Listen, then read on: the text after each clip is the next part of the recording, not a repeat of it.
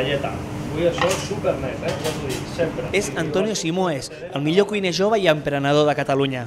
Així l'ha qualificat l'Acadèmia Catalana de Gastronomia i Nutrició, que li ha atorgat un dels Premis Nacionals de Gastronomia 2014.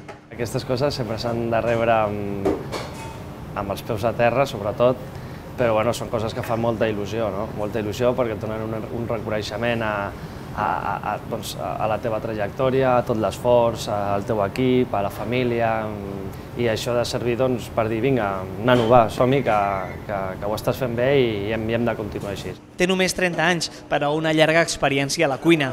Els fogons des que era adolescent va aprendre al restaurant dels seus pares, a l'Escola d'Hostaleria de Barcelona i a Can Faves, amb Santi Santa Maria. Ara, a la taverna del Clínic, manté la passió per la cuina de sempre.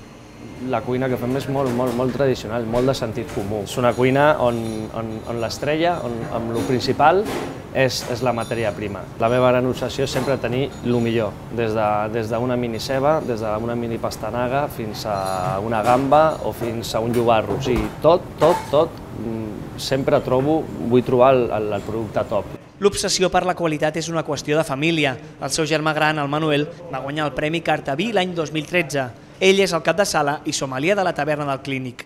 Jo he fet de tot per no dedicar-me a això i al final he acabat, vull dir, he acabat aquí. I el meu germà als 14 anys es va posar la primera xaqueta la primera xaquetilla de cuina i, bueno, i encara no se l'ha tret. Però és un tio que li posa molta empenta, dedica moltes hores, és un tio que tracta el producte i els punts del, del producte molt bé. Amb passió i treball, els germans Simoes confien que rebran més reconeixements per la seva feina. A veure, a mi em fa molta il·lusió l'estrella Michelin, no? moltíssima il·lusió, però me l'he tret del cap i no vull, no vull tenir cap pressió innecessària. Els peus en terra i de mica en mica, de mica en mica. Una mica de carxofes i un medoso de oído señores.